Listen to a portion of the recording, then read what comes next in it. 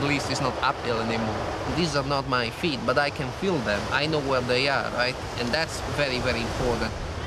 I've been in some very big accidents, and I've been very lucky because I've got away with a lot of things. But um, did you ever think it was going to happen to you? No.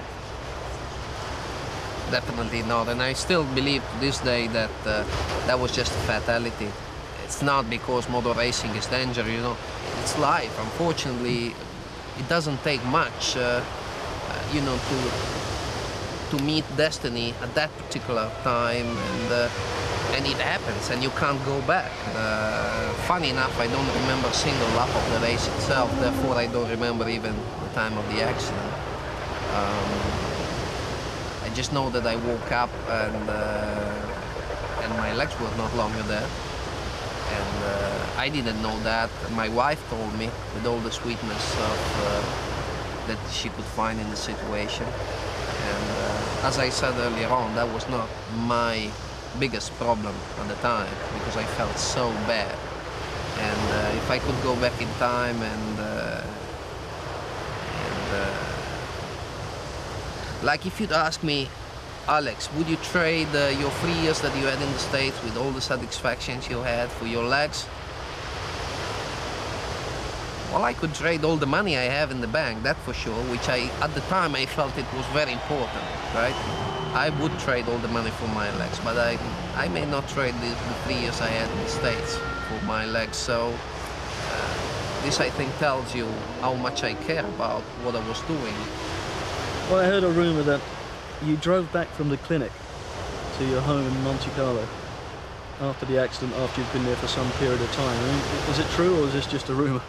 I can see it as a, as a flash, you know, me driving on the motorway, talking to my wife and looking in the mirror, my son in the back that was sleeping. I felt, I felt the boss of the family again, you know, and I, I didn't feel like a handicapped guy, like the way I felt when I was on the wheelchair. With all the respect for the people that are on the wheelchair, but uh, to me at that point I felt like, you know, I was totally normal and it didn't mean anything the fact that I didn't have legs at the time. I mean, I was taking the family home, so it was a special, special moment for me.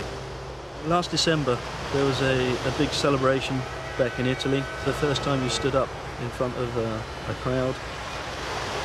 What was that like? Only, what, three months after your accident? Yeah.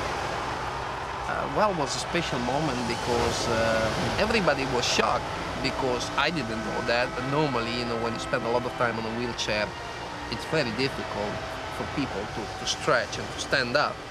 I think a very special moment, also for me, uh, because it was very, very unexpected, you know. Alex, you're a true champion and an inspiration to many, and thank you very much for your time. Thank you, Mark. Mark, he's a pal of yours and was a former rival of yours, but it's fantastic to see him fighting back like that. It really is. Um, it's, it's tough for me actually to, to even talk to him at that point because only a few years ago I was 200 miles an hour wheel to wheel with a guy, fierce competitors, and then to actually sit next to him only a few inches away and the guy's lost his legs. Uh, it draws too many parallels to me as a, as a driver and as a, as a human being. And uh, I actually told him the other day sitting there that the, the biggest reason that I never returned to oval racing for this year was because of him, because of his accident. And, and it's something that I still don't sit very comfortable with. It's great to see him, though, especially saying he wouldn't have swapped his racing career to have his legs back. It's an astonishing thing to say. Oh, he, he's so passionate. He's such a strong guy. Um, you know, and, and I believe every word he says on that. He, he you know, that is from the, the, bottom of his heart. But um, he is a, a true role model to anybody in that situation.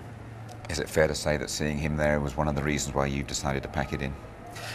Um, I haven't packed it in yet, and that's probably the, that, that, what, what, I'm saying at this point is, is, that I may return, but the biggest issue with me is I've not returned yet purely because of Alex's accident, and that's something that is in the back of my mind. If I don't get it out of the back of my mind, I will quit completely, but it's still there. Mark, thank you very much indeed. Uh, let's go down.